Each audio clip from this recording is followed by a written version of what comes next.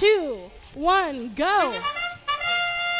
Match number 14 is underway. We've got robots moving out on the field during the autonomous period. 45 65. That's Skyline Robotics. The little robot that can comes up and scores.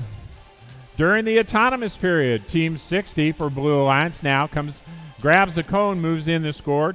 28 40, Blue Tide trying to make their way out of their community area, out in gathering up some game pieces. 76 45, Nangang looks like they're getting in, trying to score down low. They've got a game piece going for another cube as Red Alliance coming on down there and scored up on the mid post. That was 2403 Plasma Robotics. Bionic Bulldogs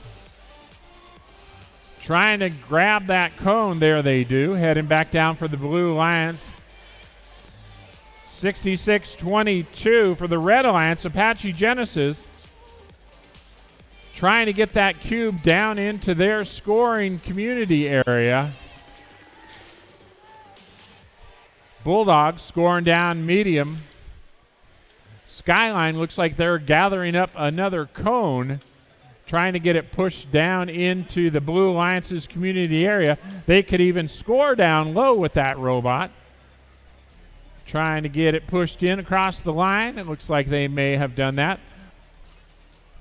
Nangang now, not sure what's going on with them.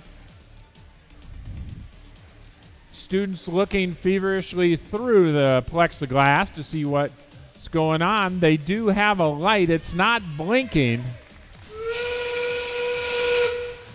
They're pointing, it looks like they have an issue. 7645, an issue with their robot as we're in the end game. 20 seconds remaining. Whoa, 45 65. Skyline up on the ramp. Here comes their alliance partner. We've got a double for blue, a double for red. And time expires. This double double was brought to you by the In N Out Burger. It's almost lunchtime. Top another very close match. Blue Alliance 68, Red Alliance 66. Very close. Blue Alliance again looks like they pulled out ahead with the scores